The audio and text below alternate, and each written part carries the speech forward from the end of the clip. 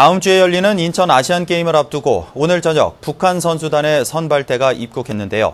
오늘 안동에서도 이 대회의 성공 개최를 위한 성화 봉송 행사가 열렸습니다. 엄지원 기자입니다.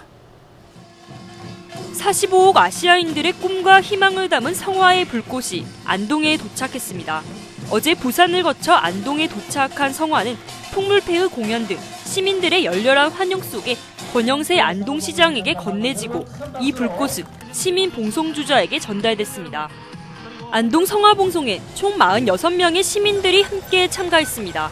한국 생활 13년 차인 롤리타 씨도 지역의 다문화 이주 여성을 대표해 봉송주자로 나서 눈길을 끌었습니다. 이번 아시안 게임에 제자를 보내는 감독은 성화봉송의 남다른 마음으로 임했습니다. 안동시청 소속 21살 이선혜 선수가 이번 대회의 육상 100m, 400m 계주의 국가대표로 뛰게 됩니다. 안동을 대표해서 또 우리나라를 대표해서 뛰는 만큼 어, 최선을 다하고 그다음에 좋은 결과 있기를 바라는, 바라는 마음에서 성화봉송을 했습니다. 봉송 행사는 1시간 가까이 시가지 2.4km, 9개 구간에 걸쳐 이뤄졌습니다.